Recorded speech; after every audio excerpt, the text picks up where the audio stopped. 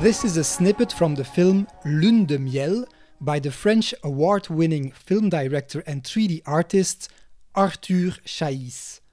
You probably know Arthur from his Blender short film Spoon, which earned him an incredible 19 awards at various film festivals around the world.